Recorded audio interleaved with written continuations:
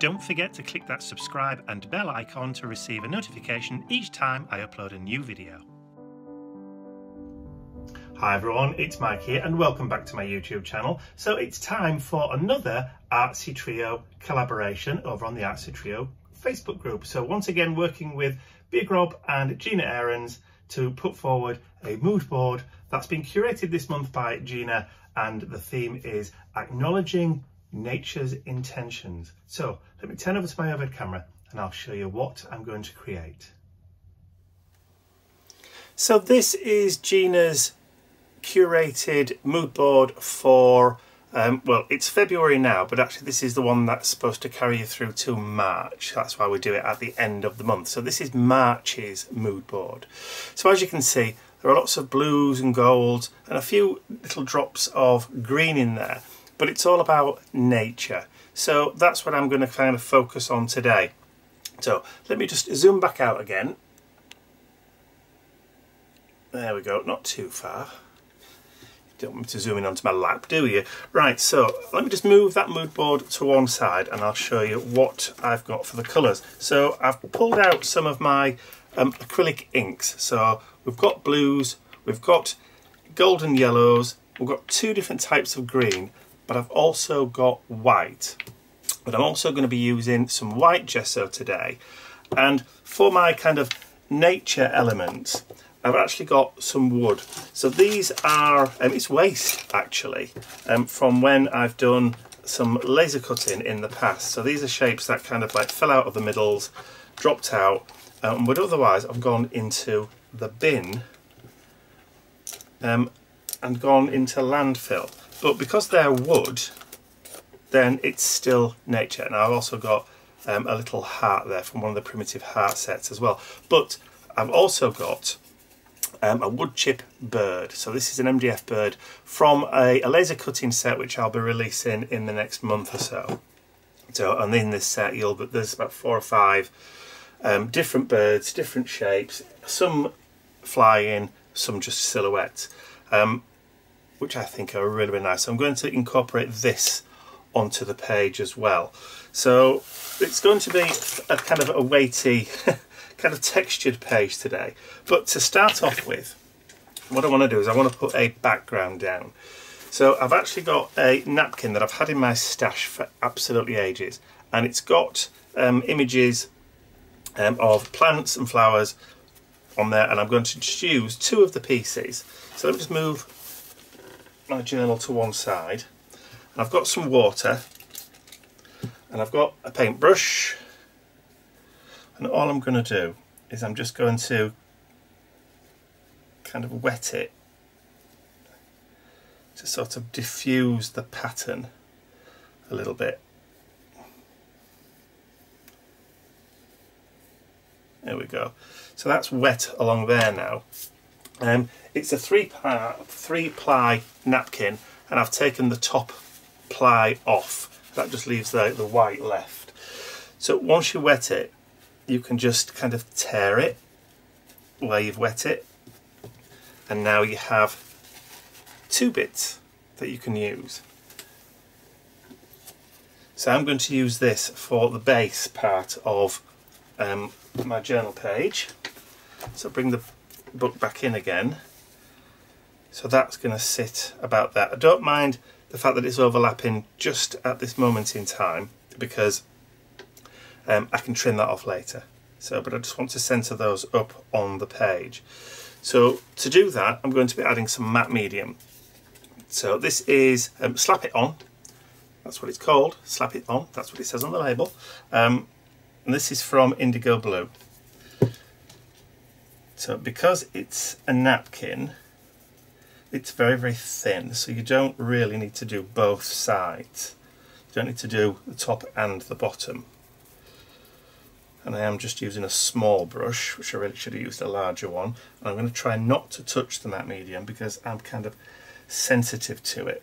If I get any on my hands, which I'm probably going to do anyway, um, it pulls my skin off.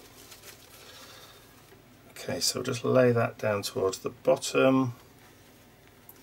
And I'm bound to get some wrinkles in it. That's just the nature of the beast. and just smooth it out with the brush from the middle towards the edges and that should hold it. Like I said, I am going to get a couple of wrinkles in.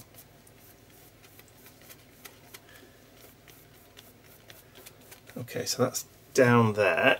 So we'll just add a bit more on top. Now just to seal it in,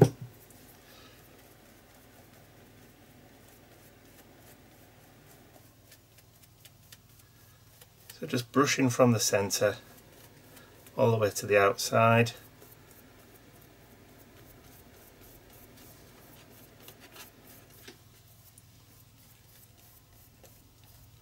Because it's a thin tissue, like I said, it'll just soak straight through.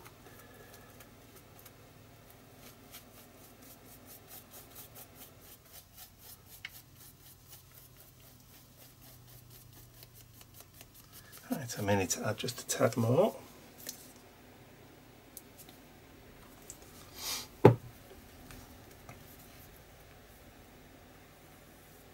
That's it. Just make sure it's all evenly coated. I think this napkin was once sent to me in Happy Mail a couple of years ago. I don't tend to throw napkins away when they're sent. I was trying to save them just in case because you always end up finding the perfect napkin for the project that you're trying to do. And whenever I go to the supermarket, I always have a little wander down the party aisle just to see what they've got, just in case there's a, a nice pattern that can be purchased. And sometimes I ended up having to buy maybe like 20 napkins when I only, when I only want one. So while that's still wet, I'm just going to use the brush just to kind of get rid of that excess off the edge. And I don't mind if it rips a little bit of the, I told you I'd get some on my fingers. That's it. I mean you could wait until it dries and then just use a, a knife or a pair of scissors but I kind of like that deckle edge that it gives you when you rip. There we go. Perfect. Go into the bin.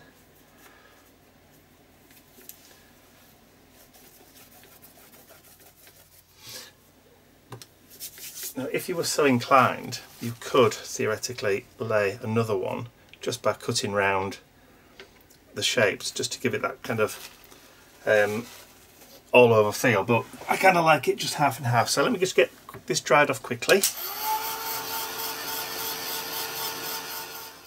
Napkin's now dry.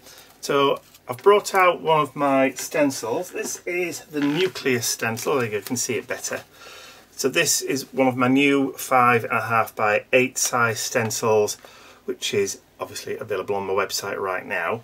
So I'm going to use that because it's got that circular kind of theme that I want for the background.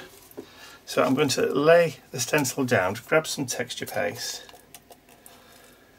and I'm just going to scrape through just to get some of those kind of circular shapes.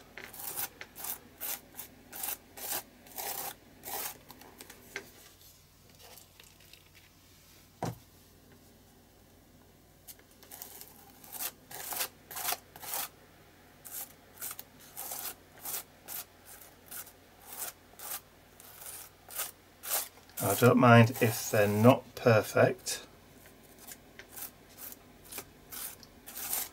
or you're just getting the edges of some of the circles. As long as you've got that kind of sweeping motion where you can see the edges of circles or the impression of circles, I'm going to be happy.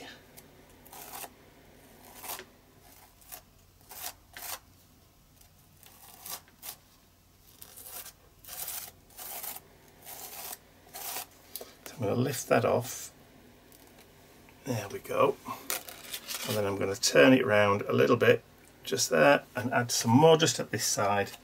And this stencil is one of those ones where it doesn't matter um, whether it's up, down, left or right it still gives you a good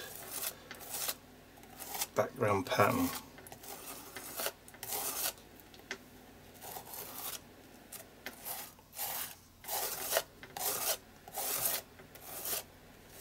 Just bring some down over the tissue as well.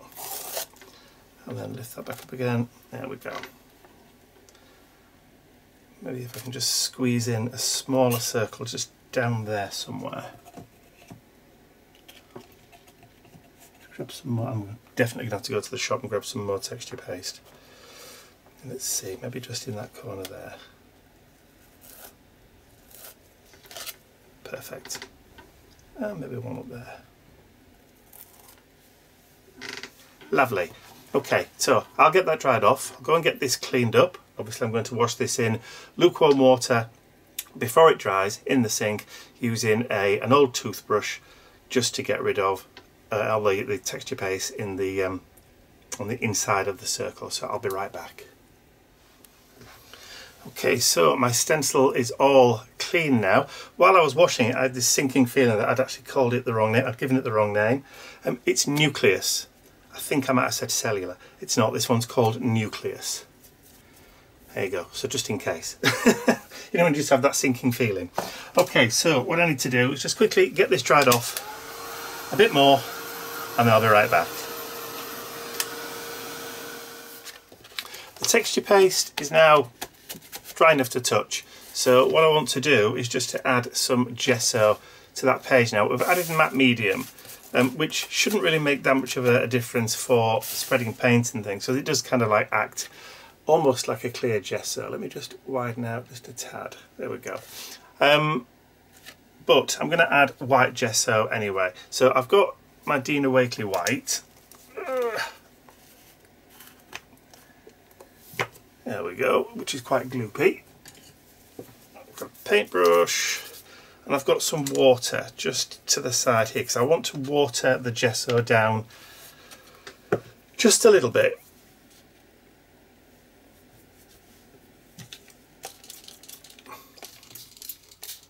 That'll do that should do it. And then just kind of knock back the napkin image a little bit knock it back into the background a bit more.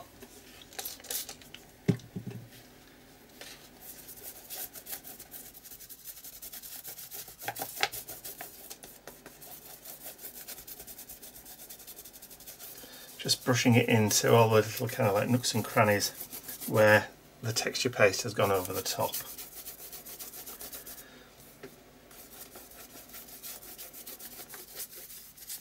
Of course this will die back when it's dried and almost become like a ghost of itself.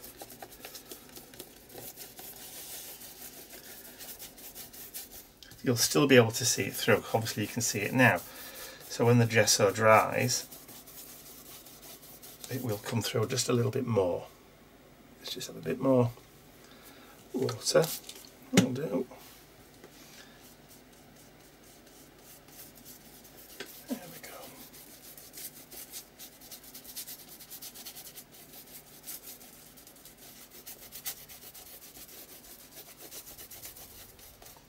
Just make sure I get everything covered.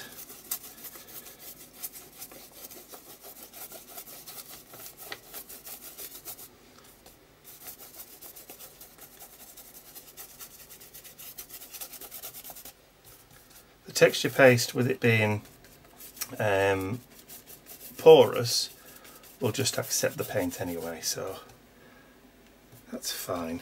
But we'll just add a little bit just for a bit of a tooth between the texture paste.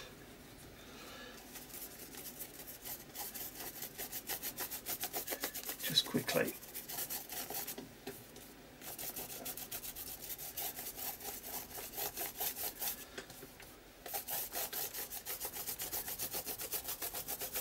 If I've missed a few areas, it doesn't matter.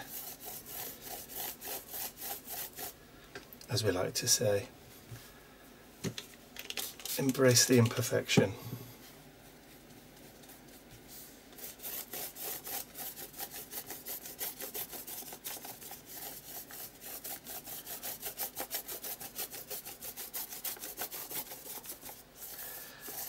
I think that'll do. That will do. I'll just use up that excess. Just in that bottom there.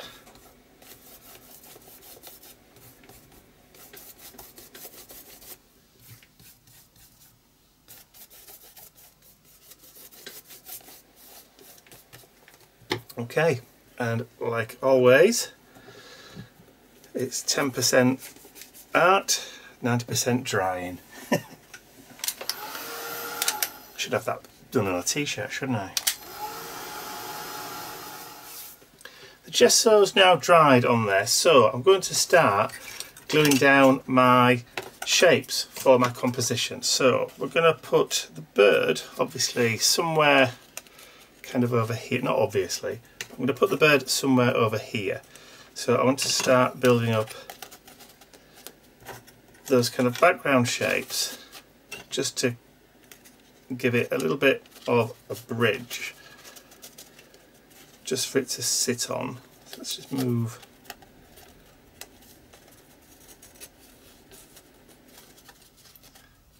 so about there I think. So I'm going to use some grab and go glue from Indigo Blue. I'm just going to squeeze. Now I fell foul of this one before. There's a little cap in there, isn't that? I need to take it out first. Before you can get the glue out. There you go. I did fall foul of that previously. I'm glad I remembered. Otherwise I'd have been doing this for hours. Okay, so I've got a little twist nozzle which will just, I can just open big enough just to get enough glue out. So I'm not going to push it down too hard. There we go. That's fine. So this is a form of PVA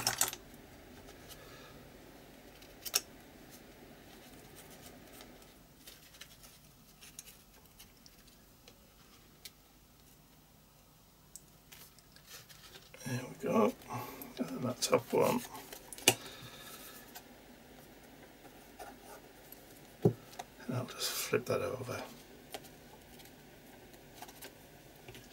So that's going to be where the bird's going to sit. Let me just push it a little bit further that way.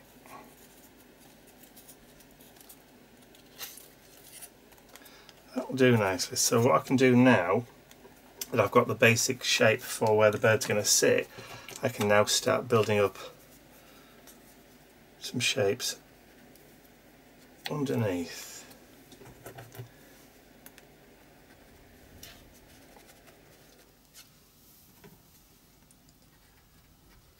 Just random kind of placements.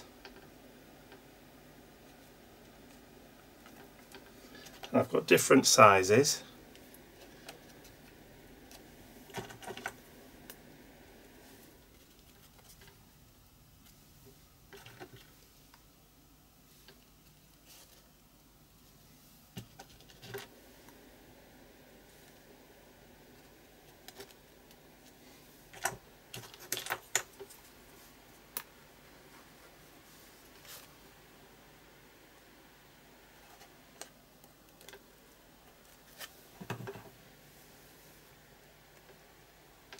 You can tell I'm concentrating now, can't you? Because I've stopped talking.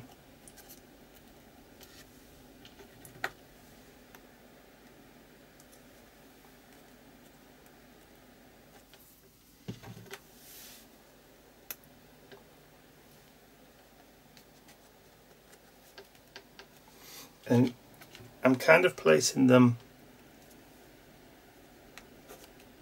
where we've got littles and bigs.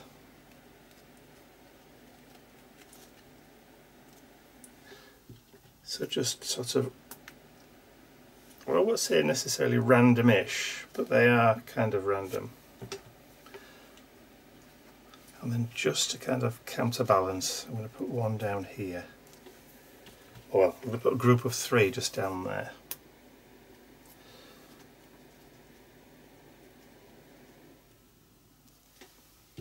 and then a little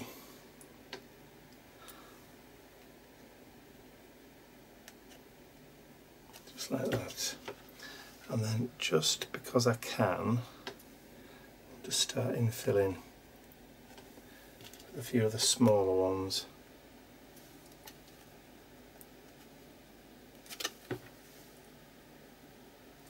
I'm going to add just one to the back of the bird itself so that when I stick it down it will be supported.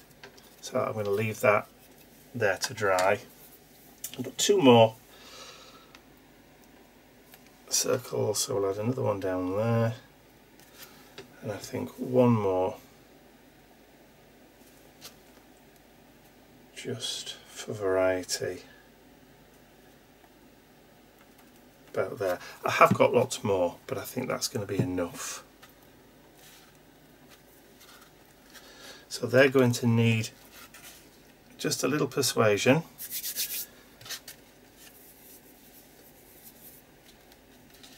A little bit of time just to dry. So I think it might be prudent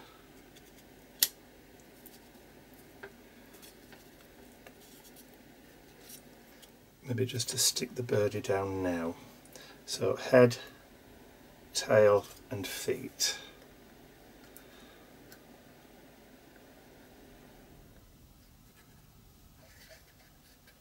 And of course on that dot.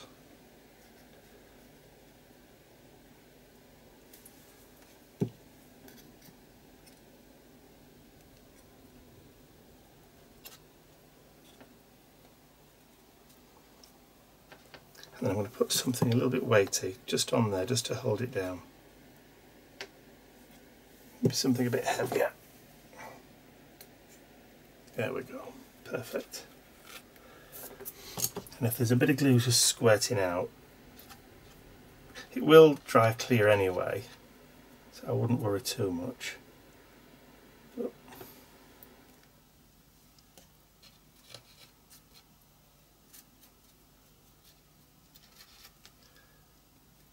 There we go. And I'm just going to leave that for probably about a quarter of an hour. And if you see any of the circles kind of like lifting up because of the paper buckling, then we just add a couple of bits, maybe just to hold them down. Okay, let that dry and then I'll be back in a few minutes.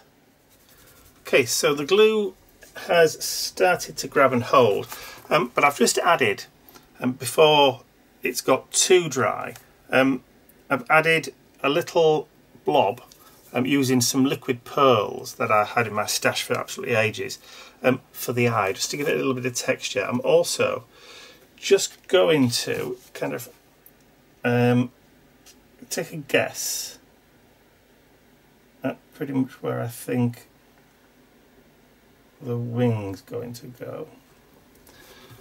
Just about there, I think. And then we just add a couple of kind of like detail lines. Now this um, liquid pearls will dry and it will stay um, kind of domed. I know that's not perfect, but that's pretty much um, let me just see if I can just bring that around there we go that's more like it just gives you the impression so that will dry domed like glossy accents does it stays kind of domed um, so that when you apply paint over the top you'll still get that texture coming through that domed effect coming through but you can knock it back and just make it part of the overall background pattern or composition if you like. So I'm going to leave that to dry for a bit longer. I'll go and make myself a cup of tea. And I also forgot to add the heart, which I've now done. so I'll be back in a little while. Okay, everything's now kind of dry. Nothing's going to fall off the page. The um, liquid pearls are dry enough for me to be able to paint over the top, which is exactly what we're going to do now. So I've got white gesso again. This time I've got some indigo blue white gesso.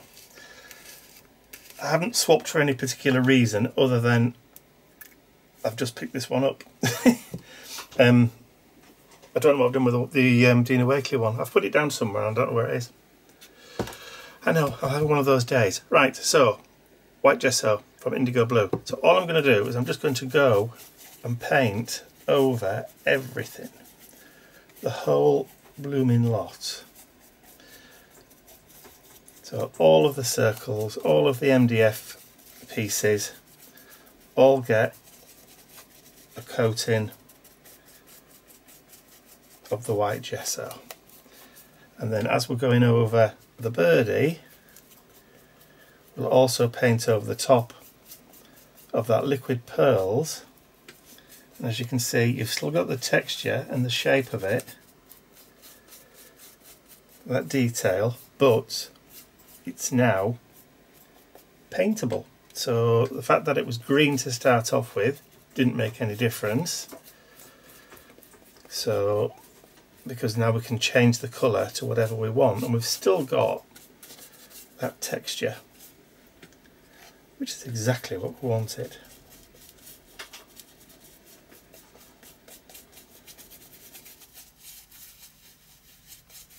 So just going around the chest, around all the edges, just trying to get rid of those dark um, burnt edges where it's been laser cut. And then we'll paint the heart.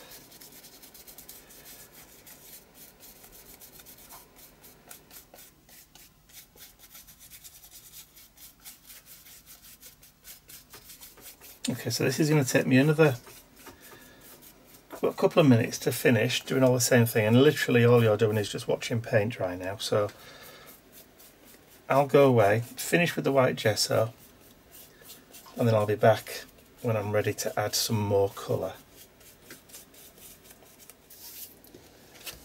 Gesso's now dry, still a little bit warm, so we're now going to start adding some of that colour. Right, so what I'm going to do, I'm going to just give these acrylic inks a shake up and then I'm going to, the, each of them have got little like droplets, pipette droplets if you like, and I'm just going to randomly drop it around the page over and across.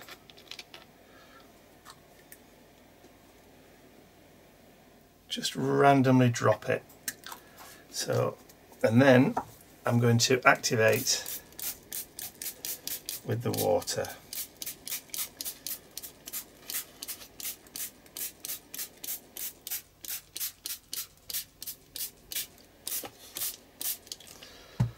and then we can allow it to run and do what it needs to or what it wants to.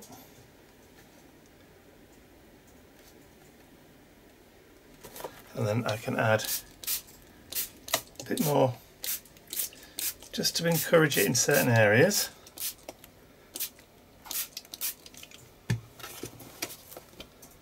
So that was the um, antique brown, so that's like the base coat if you like.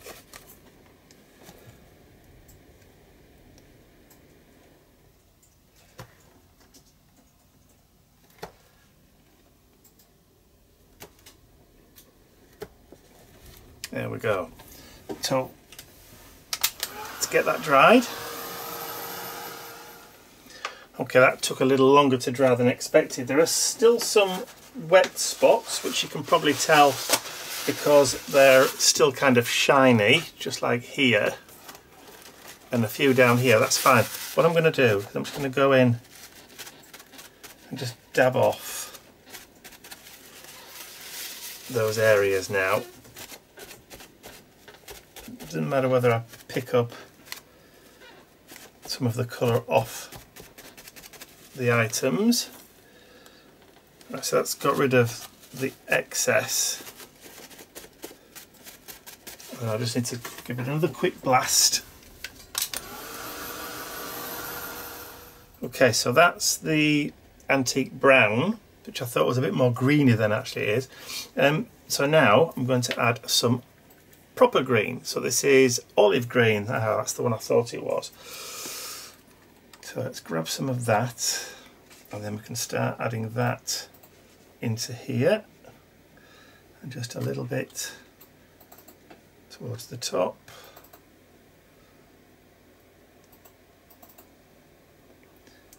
So adding in a few of those kind of natural colours now.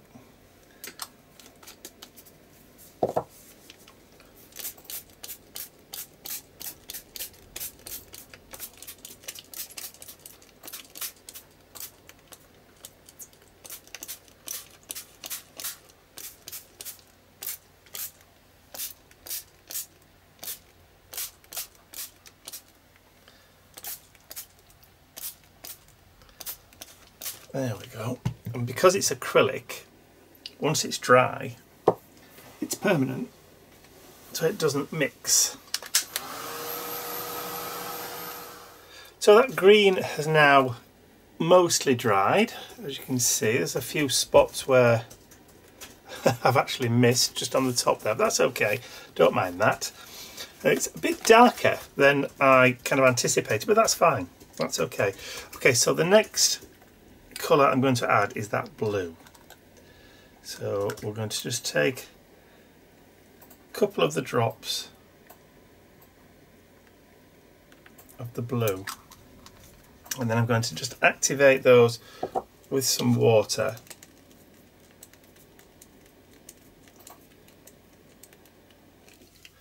And then grab my brush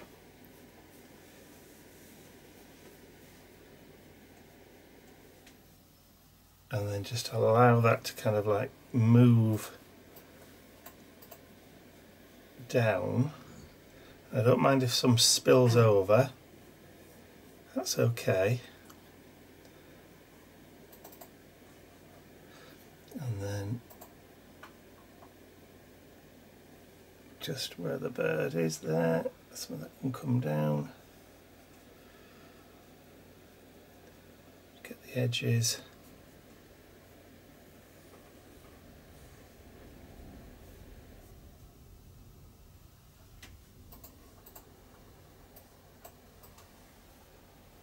Just like that. Just like that. And then we'll give that a blast. So the blue was a bit more intense than I actually wanted. So what I'm going to do is I'm just going to give it a little run over with the water and just let that do its thing.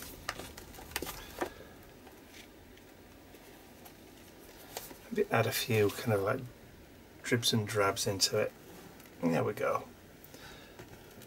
Just let it run backwards and forwards as nature intended, or physics at least.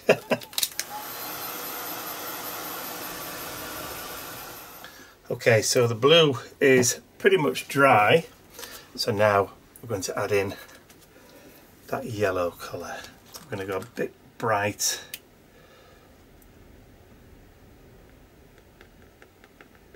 on the beak, on the feet,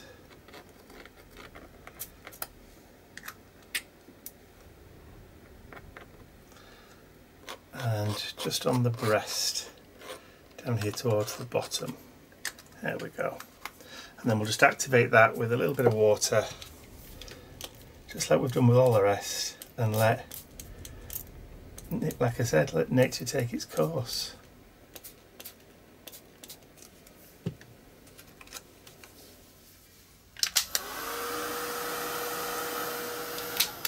Okay, so looking at it, I'm not happy with the yellowness of the yellow, if you know what I mean. So I think what I'm going to do is I'm going to bring in um, some acrylic paints, which are a bit more opaque than those inks. So I'm just going to add a little bit of that. There's a true ochre colour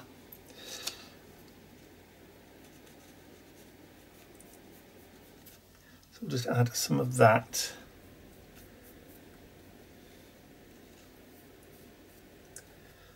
onto the bird's tummy.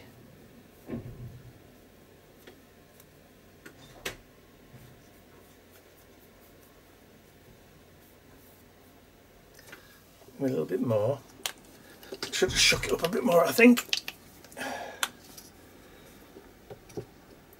Now I know the original colour and mood board, it only really shows uh, like a little bit of a, like the ochre colour there, which is why I'm playing a little bit fast and loose, I suppose, with the original kind of mood board colours. But you know, the whole point of this is about being inspired to create, not necessarily slavishly following exactly what's laid down for you. So just do a little bit over the feet there it's your interpretation of the mood board, what you're inspired to create based on what has been provided. So, okay, so that's covered that a bit better. Now, before that dries, I'm going to come in with a different yellow. This is bright yellow, again from the Americana range and I've got a smaller brush this time. So again this pen is going to be a bit more transparent because it's yellow yellow.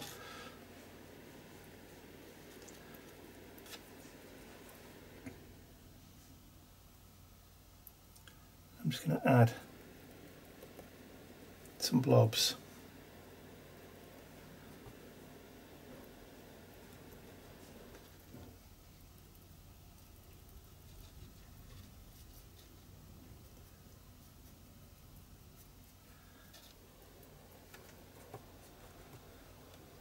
maybe I should have done the darker colour towards the wing actually. okay,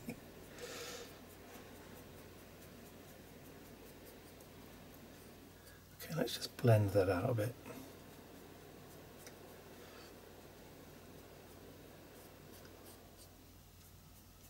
I probably would have got a, got a better effect if I'd probably mixed it with a little bit of white paint first. There we go.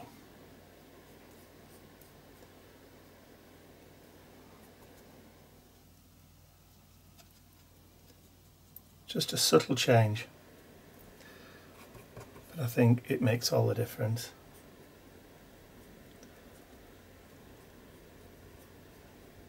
And I'm leaving the brush strokes in it. They probably won't dry um, raised or anything, but it just gives you that impression, I think, of a bit more texture. There we go.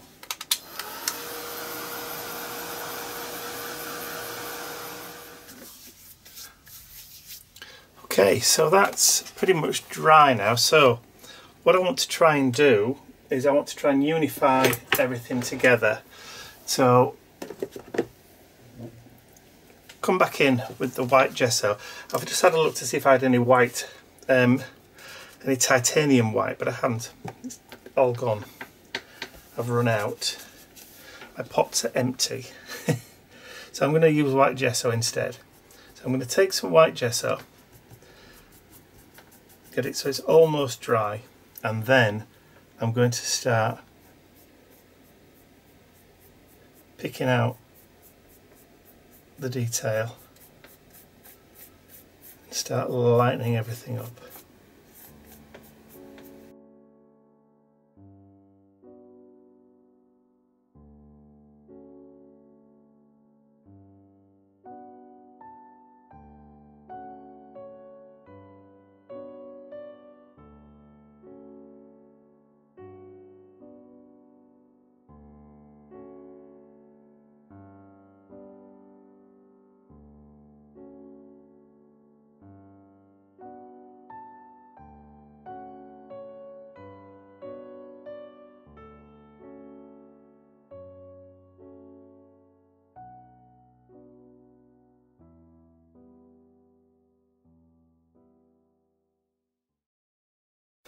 Okay, so I've dry brushed, lightened it all up a little bit so you can now see the contours of everything underneath. Now I just have to deal with the, the heart over there. I was going to use some of the red um, acrylic ink, but I think instead I'm going to use acrylic paint, which is a bit more opaque. This is the true red from the Americana, so I'm just going to pick up a little bit and then we can start adding some of that to the project. If I go over the edge, don't worry too much. I can always come back in again with that gesso and just go back over the edges just to give it that frosted look again. But I think that will be just nicely. So we'll just let that sit for a minute. Ooh, end of my brush has just fallen off. I've got the world's smallest brush now.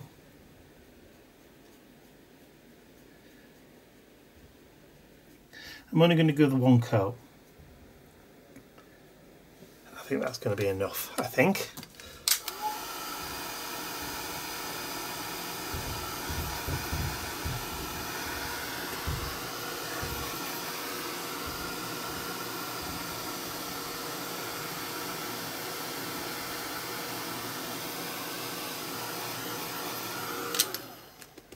Okay, so that's dry.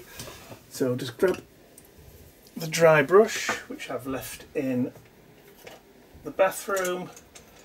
So I'll have to use another one. Oh, let's have a look. That'll do. Grab some more of that white gesso. Just a tiny amount. And then we can come back in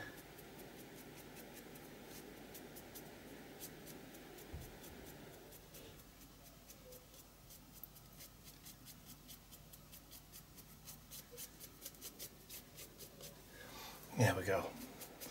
And just reintroduce that kind of frosted edge to it. And if I want to add just a little bit more of the red, just in that middle, just to diffuse it a bit more.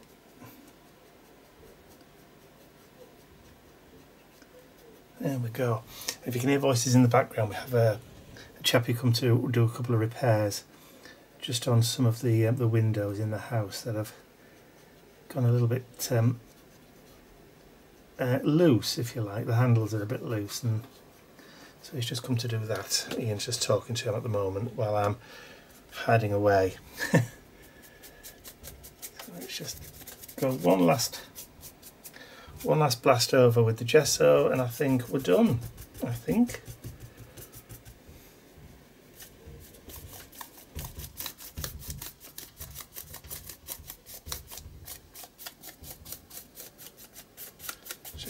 Strengthen the white a little.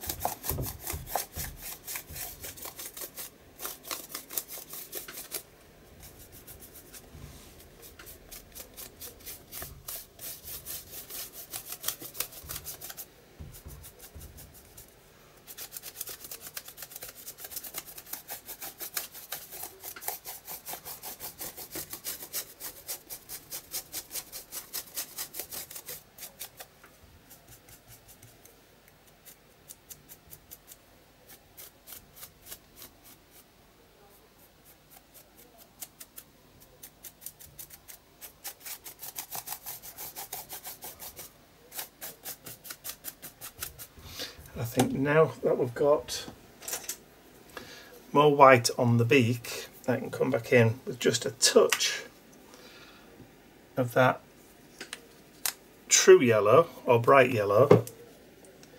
Just grab a little bit and then we can just add a little bit just to the beak. Maybe just a little bit to the feet just add a little bit of contrast.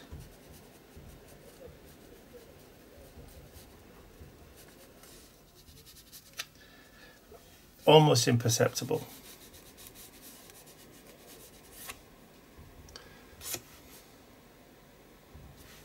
Just grab a little bit of that white as well.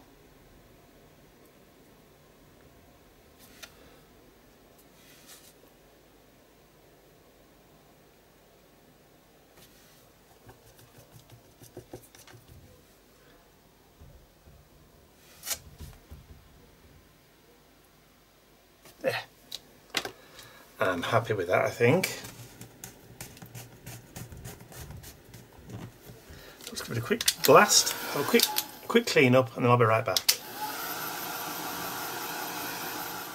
Okay, so just before we finish, one last thing. I just want to add a little bit of shadow. And all I'm using is a charcoal pencil. So this is the dark one. So we'll just add a little bit of shadow just on those legs. Just there. Just add a bit of definition. And just a real small amount under the wing there.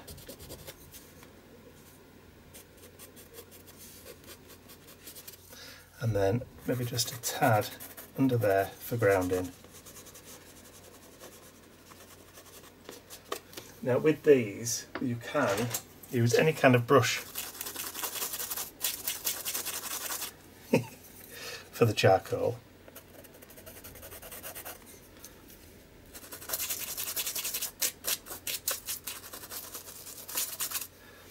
any kind of paintbrush. But I find the ones that I've got like a, a stiffer bristle works better. See? But any kind of any kind of brush really. Actually, have I got one with a better point on it? Maybe that one there.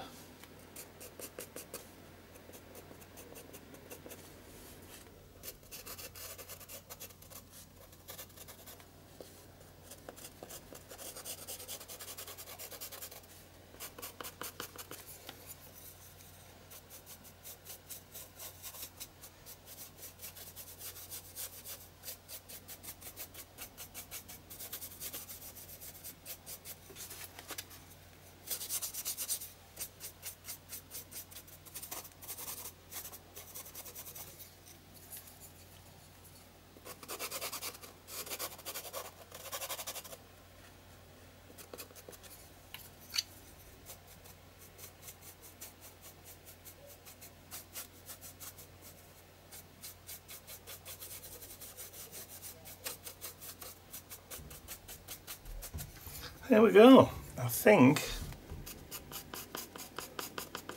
I think I'm happy with that. There we go. So let's just pop that away.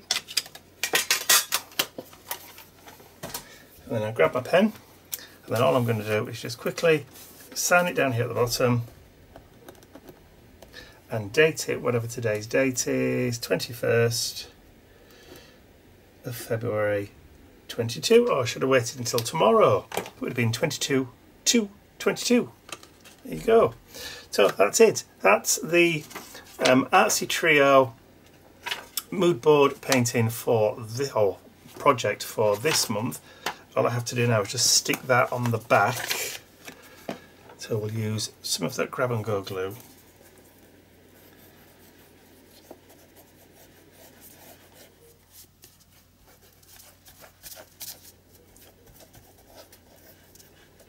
that I know what inspired me to create that page. So let's just make sure we get it the right way up. So I want to look at it that way. So lay it like that. And then just press that down. So the next time I open it up, it's going to be the right way up. So there you go. That's my Artsy Trio page for February stroke March 2022.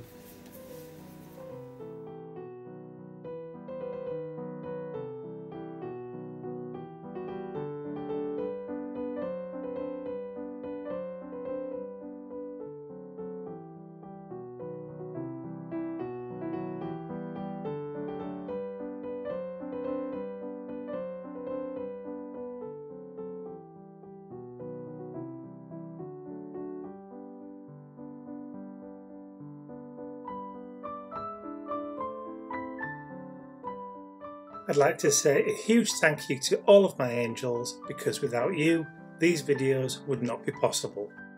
Thank you.